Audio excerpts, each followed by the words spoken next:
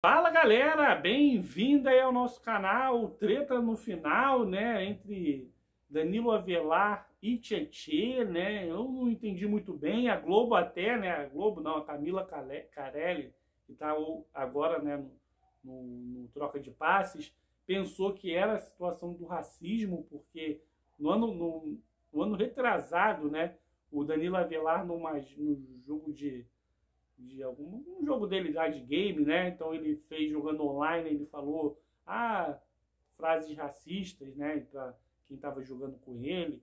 E aí viralizou, o Corinthians rescindiu o contrato dele. Mas aparentemente não foi isso, foi relacionado à treta deles dois já no passado. Isso acontece, né? Você tem a situação de o Danilo Avelar jogou muito tempo no campeonato é, paulista, o, o Tietchan também, no Campeonato Mineiro, depois o Danilo Avelar foi para lá e o Tietchan também jogava no Atlético Mineiro, então de repente já tinha uma treta ali entre os dois e a Globo ali no, no momento de desabafo do Danilo Avelar não entendeu muito bem.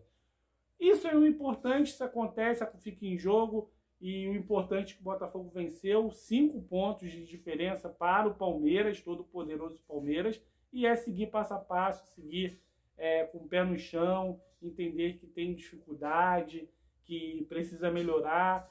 E, e, e, e quarta-feira é aquela união de todos os torcedores para que realmente a gente faça uma grande festa e consiga uma grande classificação. Vai ser difícil, o time do Atlético Paranaense é bom, vai ser sofrido, a gente já está acostumado a ser botafoguense, e você vai saber tudo aqui no canal de fogo. Valeu, tamo junto. Se tiver mais novidade, atualizações de treta, a gente vai correr e informar para vocês.